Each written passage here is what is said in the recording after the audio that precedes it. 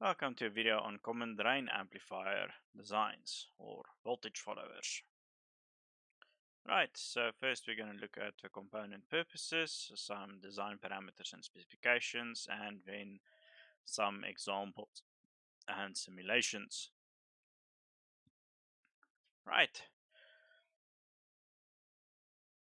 The source resistor is responsible for a stable bias point and can have influence on the output swing for the common drain configuration.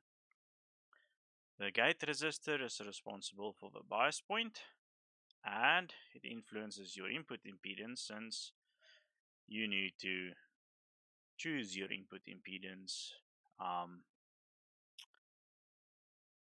from this and the gate resistor or resistors are the only components responsible for your input impedance for the MOSFET. So this is one of the better qualities of the MOSFETs um, is that you get to choose your input impedance and it can be extremely large. Okay, the two capacitors is just for DC blocking or decoupling and the other resistors is to load your amplifier. Right. So you can design for a specific load. Um, typically, the common drain is designed for a minimum load in mind. Your source resistor um, will provide the bias current and there is two methods to choose your source resistor. We will get to that in the examples, you always try to have Vs equal to ID um, RS and equal to your VDS. Okay, so there is no ID RD in the common drain amplifier, everything is around the source resistor. Right, then we always try to maximize the input impedance and remember that the voltage gain should be roughly 1 volt per volt. Um, and the current gain is your AV value or your loaded gain multiplied by your input impedance divided by your load resistance.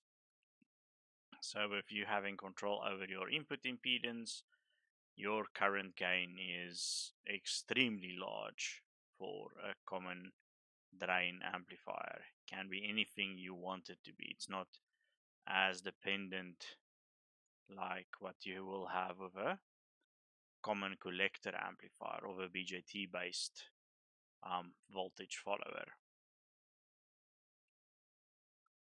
So Looking at our common drain as a summary, you should remember that there is zero current flowing in here. So RGG is responsible for your input impedance. And on the output impedance side, you are seeing 1 over GM in parallel with RSS.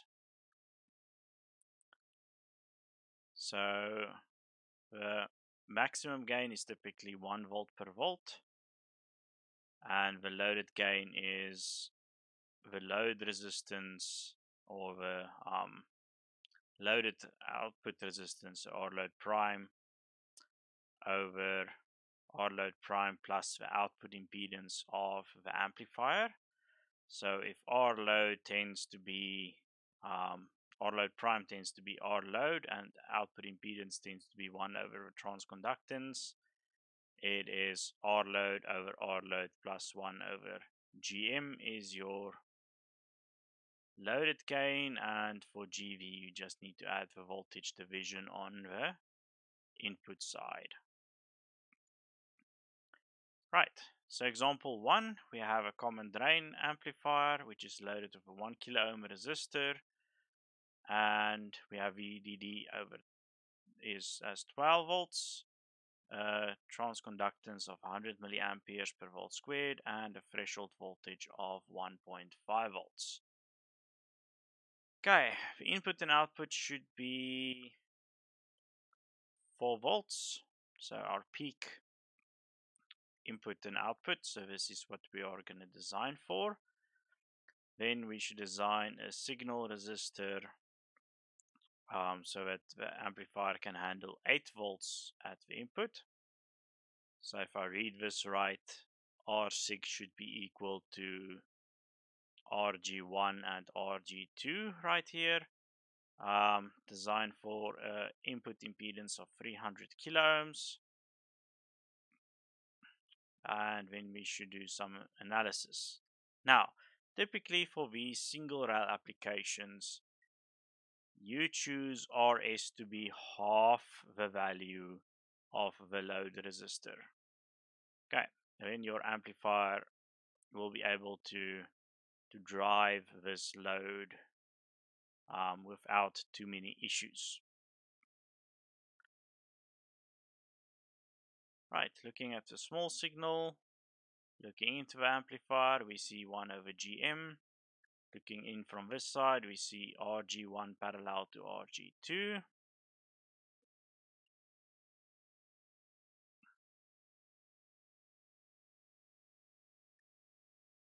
So design equations wise, we have a specific input impedance to cater for, and we have a gate voltage. So with these two, we will be designing our two gate resistors. VDS is ID, RS is VDD over 2. That is what we will be designing for. Okay, so R load as 1 kilo ohm, half of that is 500 ohms. Choose your RS value to be 470 ohms. Then you always design with a specific load in mind. So we will be using R load prime and that is 320 ohms. So a source resistor in parallel with a load resistor. Then you can take this with the peak output voltage that you want this loaded resistance right here and that will give you your design drain current. So 4 volts divided by 320 is 12.5 milliamps. This gives us our transconductance, 15 milliamperes per volt. And if we take 1 over GM and our loaded gain right, uh, our loaded output right here, R load prime over 1 over GM plus R load prime gives us 0.941 voltage gain. That's fairly close to 1. Okay, if you chose these two to be the same value, this will drop drastically. Okay, but to complete our design, we have our drain current. With our drain current, we can find our gate source voltage and that is 2 volts. Adding that to our voltage at the source, we get 7.875 volts. So we should be designing our input bias with 7.875 volts. And we are designing for 300 kilo ohms. Okay, so if we solve these two equations simultaneously, we will get our gate resistors at 820 kilo ohms and 470 kilo ohms. Right, so if we analyze this a bit, calculate our input impedance, that is very close to 300 kilo ohms. Our current gain with this input impedance and the load is 281 amps per amps. So that is a lot of current gain. Um, our GV is V out over V sig, so we should be getting 4 over 8.5. That's the final part of the design. So that should be at minus 6 dBs. So calculating for GV, we have our AV value, Zin over Zin plus R sig. and we get our signal resistor to be 270 kilo ohms. So if we want to insert the 8 volt peak and get out a 4 volt peak um, value, 270k signal resistor. Right, so let's have a look at our simulation.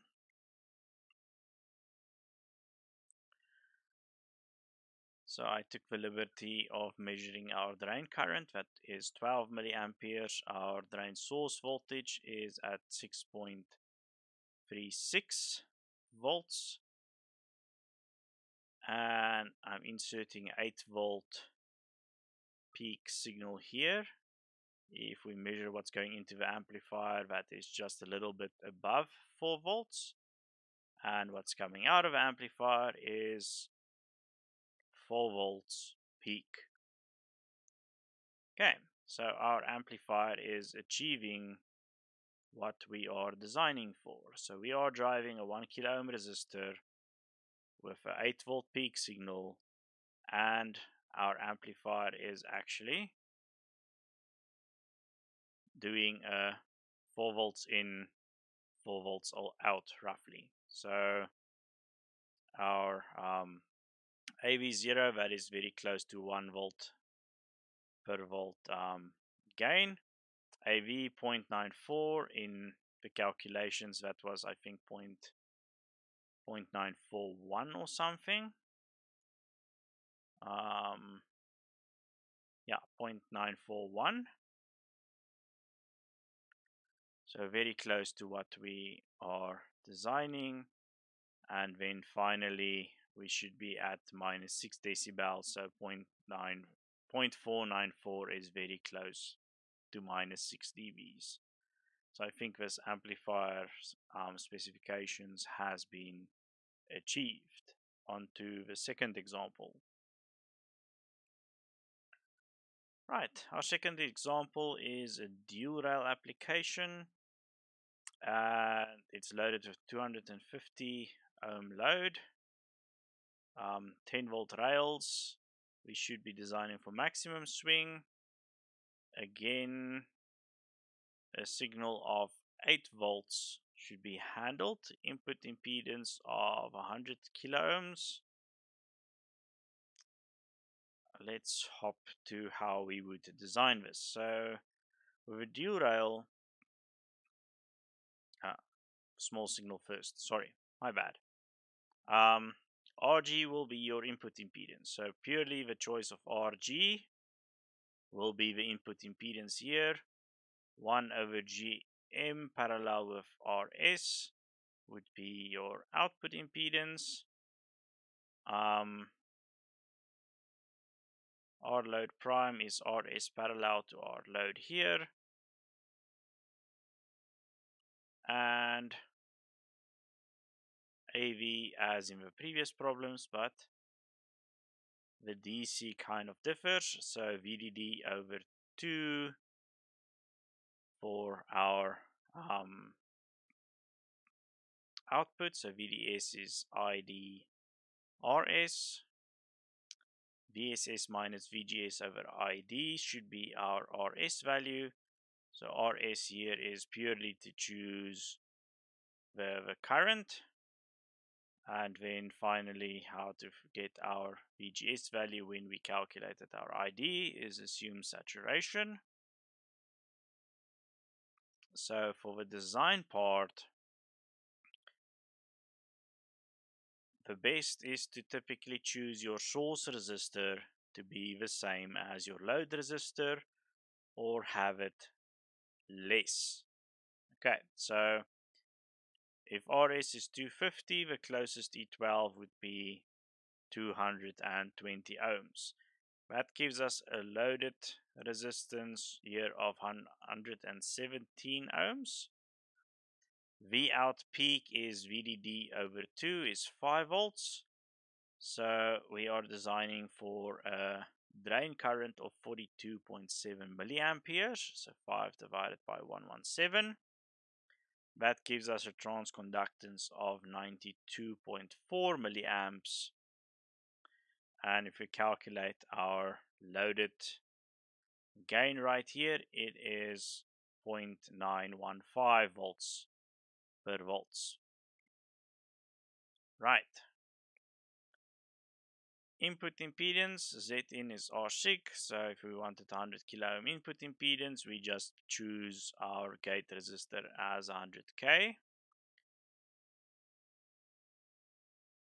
So using the R sig that we have and the Zin that we want, we get 0.457 volts per volts.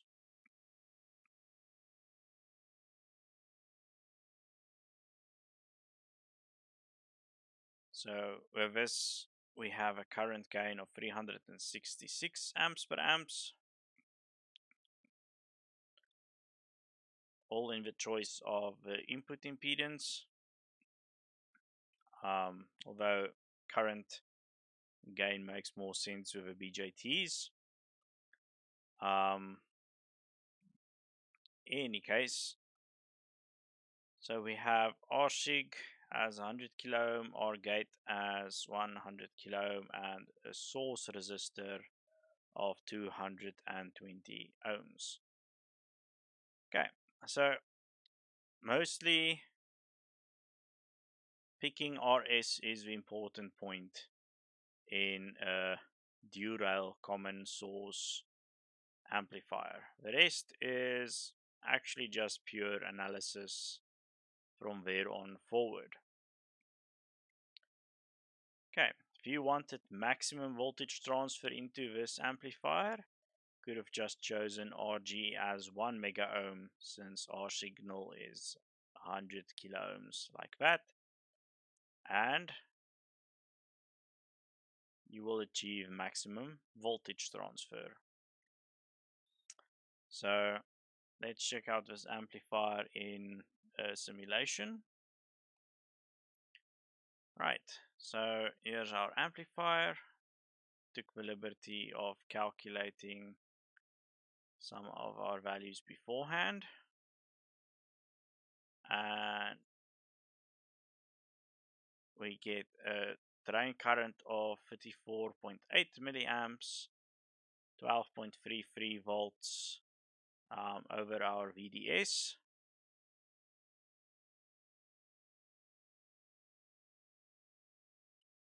Right, so input 8, input into the amplifier is 4 volts, going to the load is a little bit less than 4 volts right there. Okay, 3.5. So a bit higher than the previous one. If you want to improve this amplifier in general, you can increase the gain, uh, sorry, increase the gate resistor. And that is basically all that you can do around here. Choose these two to be equivalent, and that's it. Um, see what happens if we increase this to 10. our amplifier will start to go into saturation, uh, sorry, into triode region right there. So it can't handle exactly the amount that we put in because we need to remember that our MOSFET is voltage biased. So if we try to push it too far, we will start to change our VDS voltage and we will drive our amplifier into triode region. So yeah.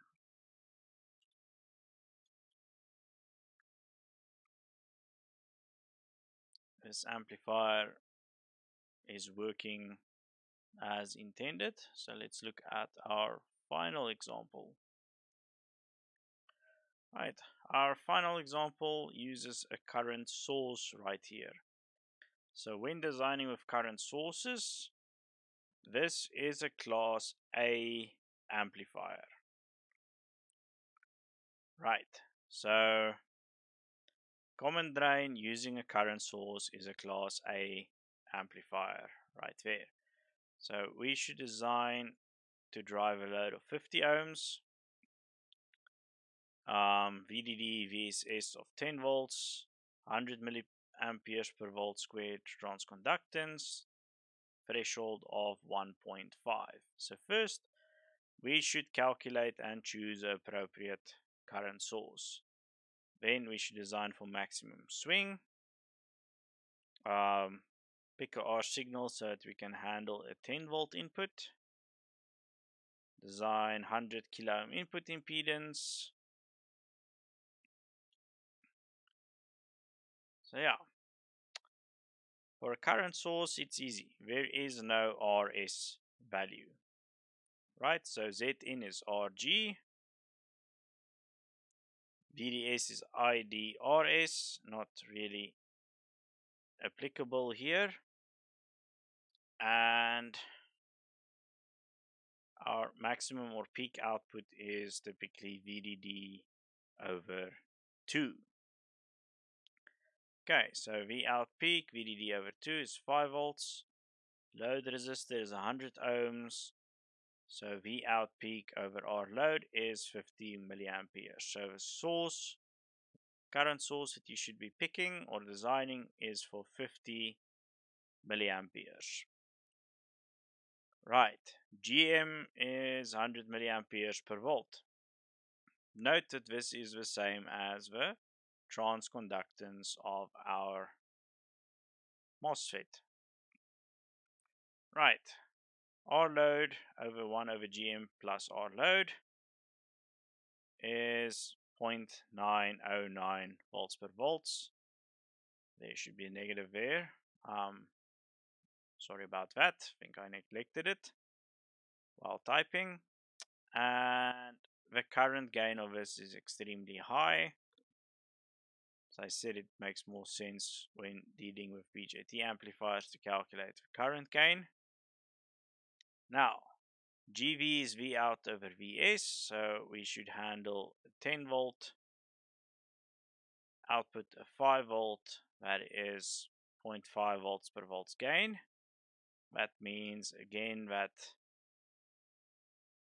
from this 0.909 we should choose a signal resistor and that is about 82 kilo ohms in this. So that is our design.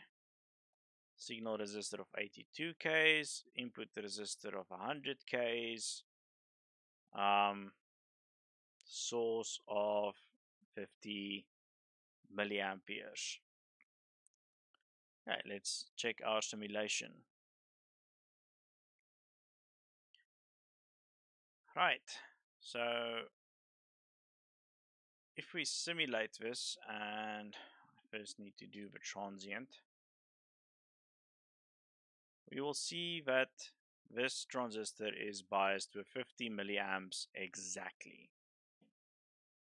Okay, so using a current source is the best thing you can do for a configuration like this.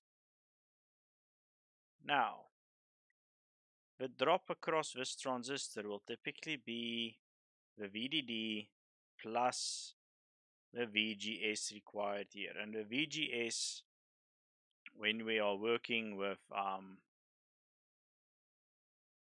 a MOSFET and it's perfectly biased like this, is 2.5 volts.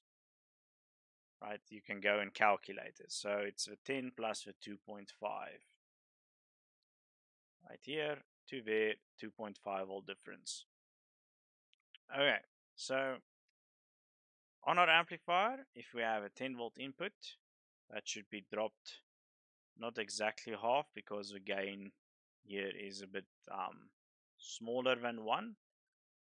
So that is what 5.5 ish going in and on the output we have plus minus 5 volts out. Right, so this amplifier is achieving with by using a current source almost exactly what we want.